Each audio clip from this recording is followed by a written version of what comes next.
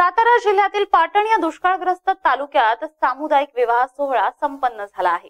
Kedarnath charitable या संस्थेच्या वतीने हा उपक्रम या ठिकाणी राबवण्यात आला. अनेक गरीब कुटुंबियांच्या चेहऱ्यावर यामुळे आनंद पाहायला मिळतोय.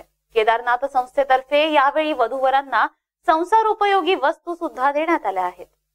त्यामुळे त्यांच्या चेहऱ्यावरती समाधान पाहायला मिळत आहे दुष्काळग्रस्त भाग त्यात गरिबी बेरोजगारी यामुळे लग्नाचा खर्च न परवडणारा. त्यामुळेच या भागामध्ये अनेक मुला मुलींच्या डोक्यावरती अक्षदा पडतच नव्हत्या.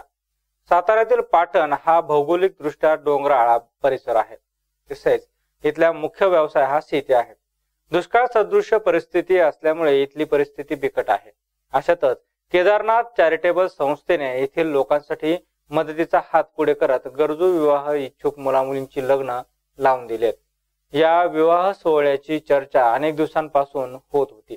त्यामुळेच अनेक वधूवरांनी या संधीचा फायदा घेतलाय. नमस्कार मी बमन गोगावले उदगिरी जिल्हा कोल्हापूर तालुका शेववाडी.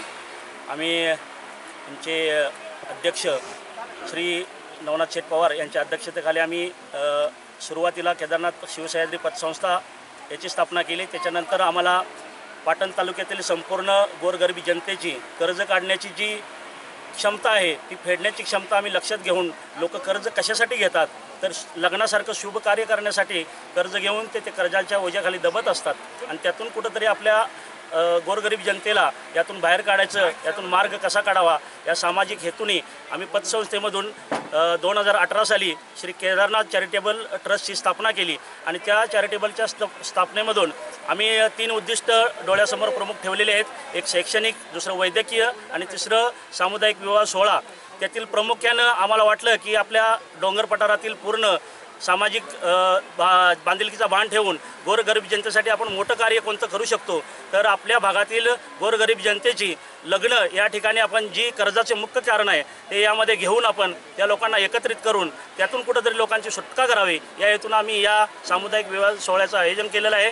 भले आम्ही अकरा शुभ लग्नकार्यांची अकरा जोडप्यांची लग्न या ठिकाणी आयोजित केली होती पण दुर्दैव आपला असा आहे आपला समाज यातून काही बदलण्याच्या मानसिक स्थितीमध्ये सध्या तरी नाही आहे पण त्यातून कुठंतरी दोन लग्न जरी या ठिकाणी आलेली असली तरीसुद्धा आम्ही न डगमगता पूर्ण विश्वस्त आमचे नवनाथ शेठ पवार अध्यक्ष त्याचबरोबर सचिव संतोष शेठ विचारे आमची सर्व टीम चॅरिटेबलची सर्व टीम पाटण तालुक्यातील सर्व टीम आम्ही सर्व यातून अजिबात डगमगलेलो नाही. तर दोन लग्न असताना सुद्धा आम्ही जे अकरा लग्न कर करणार होतो त्या लग्नातून जे आम्ही करणार होतो त्याच्यापेक्षा काहीतरी उजवं करून दाखवण्याचा दोन लग्न असून सुद्धा न डगमगता आपण समाजाला काहीतरी दाखवून द्यायचं आहे.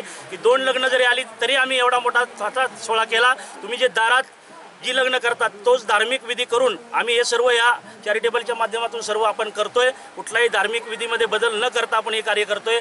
माझं फक्त एकच पाटण तालुक्यातील सर्व जनतेला सर्व ग्रामस्थांना विनंती आहे की तुम्ही यातून कुठंतरी बाहेर या आणि मानसिकता बदलून पुढच्या येणाऱ्या सोहळ्यामध्ये आपण सर्वांनी जी काही लग्न असतील ती प्रामुख्याने तुम्ही आमच्यापर्यंत चालत आलात पाहिजेत की आमची आज अकरा लग्न एकवीस लग्न जी आलेले आहेत तुम्ही विश्वस्ताने एकत्र येऊन येऊन हा सोहळा आम्हाला संपन्न करून द्या असं मी जनतेला आवाहन करतो की तुम्ही ही सगळी मानसिकता बदलून आम्ही तुमचं जे काही कार्य असेल ते चांगल्या पद्धतीनं एवढंच नव्हे तर आपण मराठा समाजासाठीच नाही करत तर एवढी मानसिकता आम्ही ठेवली बौद्ध समाजाची जरी एखादी दहा अकरा लग्न आली ती सुद्धा लग्न आम्ही त्या ठिकाणी करून देण्याच्या तयारीमध्ये आहे. फक्त असं नाही की मराठा समाजासाठी आपण काय करतोय तर त्या समाजासाठी सुद्धा आपण ते विवाह सोहळा करणार आहे. आणि हा विवाह सोहळा संपल्यानंतर आम्ही वैद्यकीय आणि शैक्षणिक बाबीवरती प्रामुख्यानं लक्ष घालणार आहे. धन्यवाद.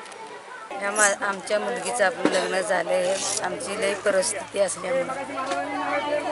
आम्ही या संस्थेमध्ये लगीन केले की आम्हाला काय मिळत नाही काय नाही. गरीब आम्ही डोंगर वस्ती आमची. आम्हाला खणून कुदळून आम्ही मुलं जगवली पण आता आम्हाला काही लग्न आमची आम्हाला होत नाहीत. हे आमचं संस्थेनं चांगलं केलं आणि आम्हाला एक रुपये बी गेला नाही. आमची चांगली सोय केली. अशीच परत अजून बी व्हावी याचा आम्ही आभार मानतो. लग्नातील अवाढव्य खर्च टाळून सामुदायिक विवाह सोहळ्याद्वारे केदारनाथ चॅरिटेबल संस्थेने पाटण मधील अनेकांचे संसार मार्गाला लावलेत. आणि आता वळूयात